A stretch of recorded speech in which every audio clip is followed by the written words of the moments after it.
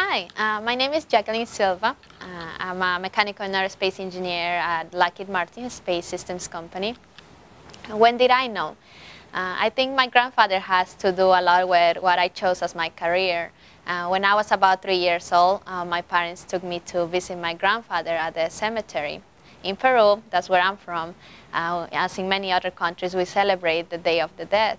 And outside of the cemetery, they always organize um, a fair uh, I remember seeing a magazine that caught my attention. It had a spaceship on the cover. And I forced my parents to buy it for me. Uh, they, uh, they tell me this story because I don't remember that I sat in front of, of this stand on the floor and cried until they had to buy the, uh, the magazine for me.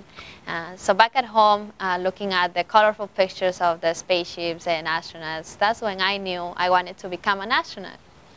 Uh, so um, in school, I participated in different science activities. Uh, when I was nine, I attended classes of physics and chemistry at a university in Lima, Peru, uh, La Universidad Nacional de Ingeniería. And also uh, when I was 12, I, uh, I was part of a TV show for kids conducting a, a segment for science projects. Rutgers University had a good match. Uh, it had a mechanical and aerospace uh, engineering program, and it was the good combination between um, space, uh, structures, uh, thermodynamics, fluids, uh, with um, design and construction.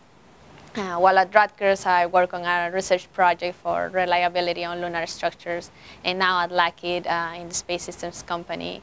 one of my major hobbies is to uh, Uh, is to help others, and my career allows me to do so. Uh, I think uh, uh, if you wanna, if you're happy with what you're doing, that's the best thing to, to do, and just continue towards uh, that path. and all of these activities are helping me towards achieving my my dream of becoming an astronaut, and also to contribute to the world's space exploration goals.